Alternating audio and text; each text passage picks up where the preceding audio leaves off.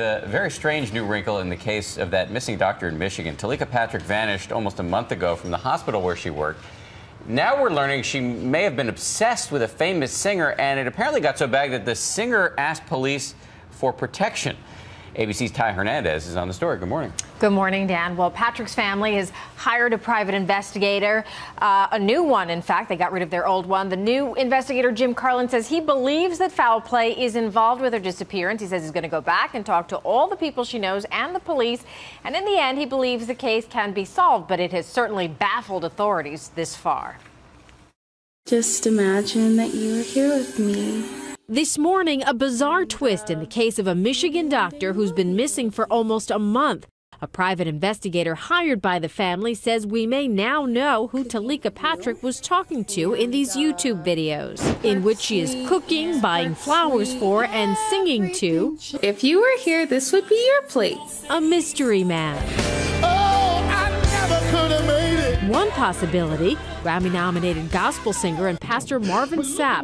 Sapp says Patrick was obsessed with him, so much to the point that Sapp, seen here on Good Morning America in 2010, obtained a personal protection order against the 30 year old psychiatrist three months before she went missing on the night of December 5th.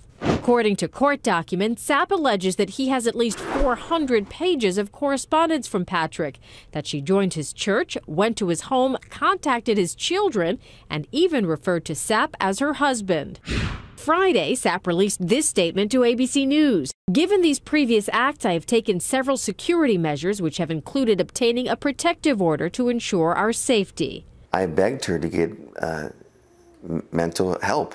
Patrick's ex husband, Ismael Calderon, says erratic behavior from Patrick is what started the demise of their relationship. Speaking to Inside Edition. When I urged her to get help, she told me that she didn't need any help and that I was trying to destroy her career. Patrick's family was shocked when they found out about the protection order, but say it doesn't change the fact that Patrick's car was found in a ditch off I 94 with a flat tire, 100 miles from where she worked, with her car keys still inside, but no sign of the doctor.